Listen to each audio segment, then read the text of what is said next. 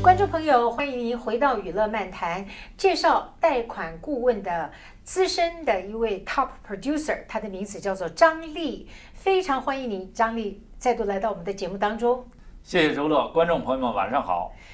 张丽在八月份呢，其实有几个七月份的经济数据都蛮重要的，啊、请来跟我们讲一下，然后把在呃两个礼拜以前的礼拜五呢，Jackson Hole 呃我们的联储局的主席发表的主题的演讲，它背后的意义是什么，也告诉我们的观众朋友。啊、主要现在是七月份呢，我们出来几个经济数据。首先呢，失业率现在是降到了五点四，基本上还是 maintain 原来的 level，这是连续四个月呢失业率在六六个 percent 以下，所以这是个比较好的消息。但是我觉得我们经济呢是处于一种这个前进中的十字路口，啊、有风险。这个风险主要我觉得认为还是通胀率，现在通胀率一直 stuck 在五点四个 percent。呀，然后就现在没有什么下降的趋势。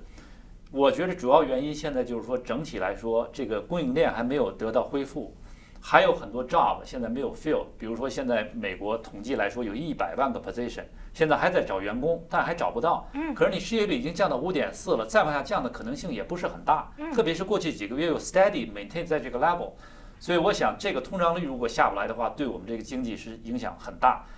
一般来说，这个就是，呃，价格和需求量是成反比的。嗯。所以在这种价格高居不上的情况下，那整体需求量的下降，所以七月份的消费者啊，特别是这个零售业呢零，售业，降低了哎，一点一个 percent，很还有多哦还有 consumer confidence 也在下也降。在下降。所以零售业大家知道占了整体经济的百分之七十。嗯，这样的话呢，未来的呃未来这个一个季度的经济有可能就 maintain，甚至可能呈呈现下行。嗯，但这种情况就是说，通货膨胀应该下来，可是怎么办让它下来呢？我觉得只有呃增加 production，增加产量，还有呢再让失业率降低。可是现在问题是通通胀率还没有下来，呃，长期长期来说呢，现在这个 Fed 已经有可能要缩表了，对这是另外一个不好的消息。嗯，因为它通胀高的话，Fed 就靠缩表。虽然它说不能够降低这个短期利率，可能两年以后才降，但是缩表可能随时进行。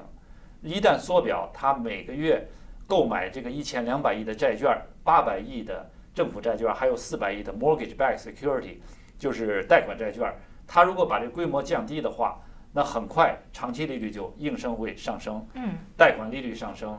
股市马上受到影响。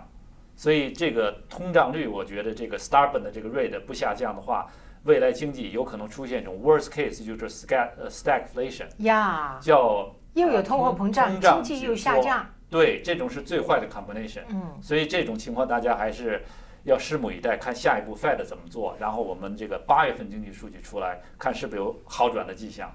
这我们的联储局的主席至少他说了一句话，让华尔街还有投资者比较放心的。他说他也承认通胀的率太高了，但是呢，他说也许过去说达到百分之二就要加息，他说他现在用别的方法来测量是是否要加息，大家都安了一口心。现在呢，我们还是要满足观众朋友的这个要求啊，就是来介绍一下现在的贷款。好的，现在贷款利率还不错，主要是最近呢，这个 Fed 联储局也说了不会增加短期利率，这个缩表呢没有又没有马上进行，所以在这个这个 gap 期间呢，利率还保持比较低位。比如说三十年固定，我们可以还做到 no point no fee 情况下二点六二五，啊，三十年固定，呃，十五年固定可以做到二点一二五，嗯，甚至二点零也有，就是如果情况符合的话。所以大家如果是 conforming 的话呢，做一个十五年固定，呃，二点零，因为您过去已经付了一些钱了，所以做二点零是非常 make sense 的。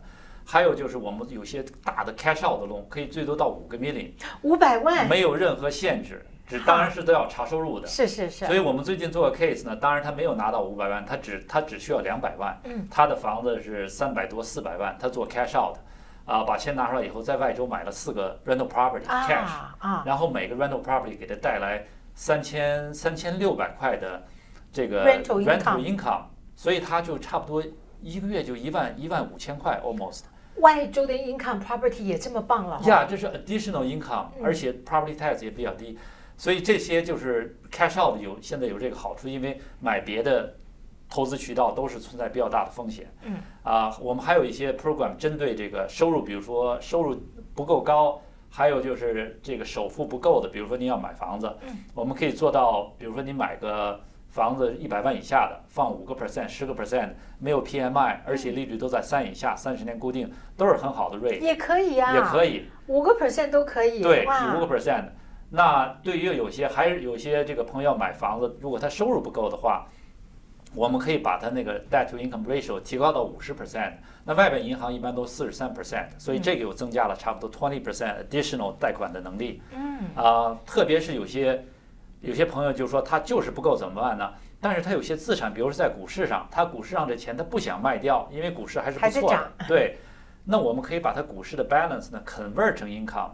就把它现有的 income 再加上股市这部分 balance convert income，这样的话它的 debt to income ratio 就低于四十三就能做。哦呀，特别是我们最近做个 case 呢，他从他自己房子里 cash out 出来啊，一点五个 million，他账上有四五六个 million 的这个股票的 balance，